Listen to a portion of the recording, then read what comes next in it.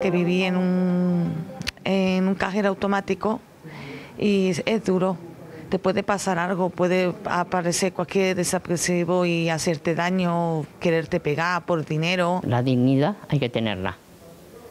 Y sobre todo hay que tener dignidad y que nadie te lo pisote. Y es precisamente eso, el temor a que los demás conozcan su situación, lo que hace que la pobreza femenina se camufle más. En España hay 12 millones de personas pobres y hay medio millón más de mujeres que de hombres en riesgo de pobreza y exclusión social.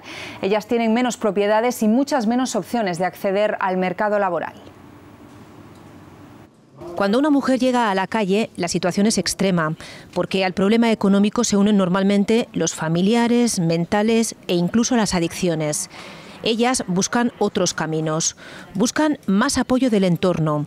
A cambio de ayuda, trabajan precariamente o se prostituyen. Soportan en mayor grado situaciones insostenibles. Por no terminar en la calle, porque para ellas el riesgo es mucho mayor, pueden tener que soportar situaciones que un hombre no a lo mejor no las aguantaría y tomar estrategias que algunas de ellas son muy humillantes. El umbral de pobreza disminuye, pero esa pobreza es más severa y se cronifica también aumentan los trabajadores pobres y esta balanza es más desfavorable para ellas.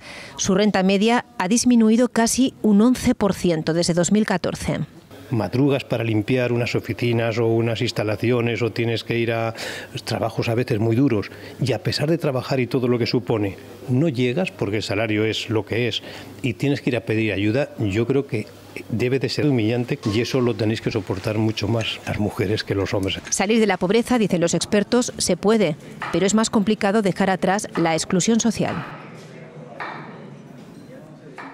María Antonia perdió todo y tuvo que vivir durante un mes en un trastero. Solamente de que me veían que por las noches me metía en el trastero y eh, había personas mayores que decían, chica, vente a mi casa. No te conocen de nada, pero te ofrecían su casa. Salió adelante gracias a su tesón. La asignatura pendiente es conseguir un trabajo estable.